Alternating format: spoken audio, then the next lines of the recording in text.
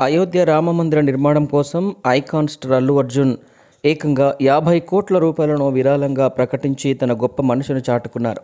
ప్రస్తుతం ఈ వార్త సోషల్ మీడియా అంతటా వైరల్గా మారుతోంది.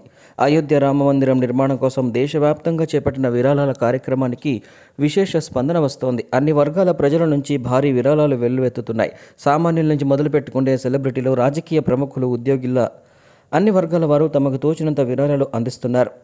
ఇప్పటికే రాజకీయ ప్రముఖులతో పాటు సినీ సెలబ్రిటీలు కోట్ల రూపాయలను విరాళంగా అందజేశారు. రీసెంట్గా పాన్ ఇండియా స్టార్ ప్రభాస్ ఏకంగా యాభై కోట్ల రూపాయలు రామమందిర నిర్మాణానికి విరాళంగా ఇవ్వగా తాజాగా మరో యాభై కోట్లను అల్లు అర్జున్ సైతం విరాళంగా ప్రకటించారు. హిందూ సాంప్రదాయాలను దేవతలను ఎంతగానో పూజించే అల్లు అర్జున్ శ్రీరామ అయోధ్య మందిర నిర్మాణానికి యాభై కోట్ల రూపాయలను విరాళంగా ప్రకటించారు. ఈ విషయాన్ని అభిమానులు సోషల్ మీడియా వేదికగా వెల్లడించారు.